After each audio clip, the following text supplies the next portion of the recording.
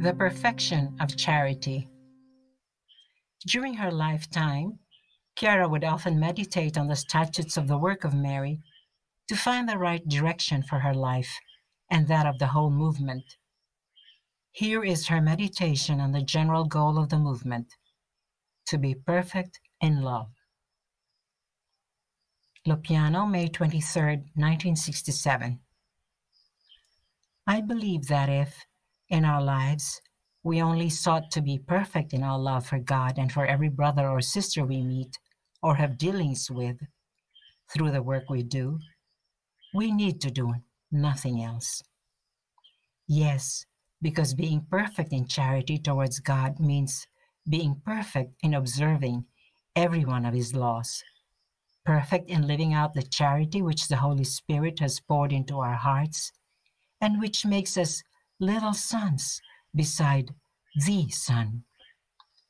Having discovered that God is love and that we are His children, our design could be the fulfillment of what Jesus says Dii estis, you are God's. Love beside love. A little Jesus beside Jesus. A little Mary beside Mary. Being perfect in charity means having perfect charity towards our brothers and sisters. This develops all the other Christian virtues in us that are its handmaids. Charity gives us true and authentic poverty, real transparent purity, total and genuine humility, perseverance to the end without effort, true patience without feeling its burden, and so on.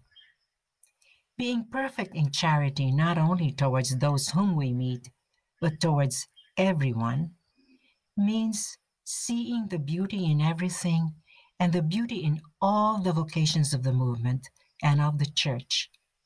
It means finding the positive in all peoples, contributing with this decisive attitude to universal fraternity and peace. It means appreciating the Christian values in other churches and communities, understanding the aspirations of all people, even those far from Christ, and so taking the first step towards giving them the fullness of truth. To be perfect in charity means to have our heart and our words at the disposal of the Holy Spirit, who, through us, wants to heal wounds near and far, to bring relief to many, and win over hearts. By Chiara Lubich, an excerpt from her diary.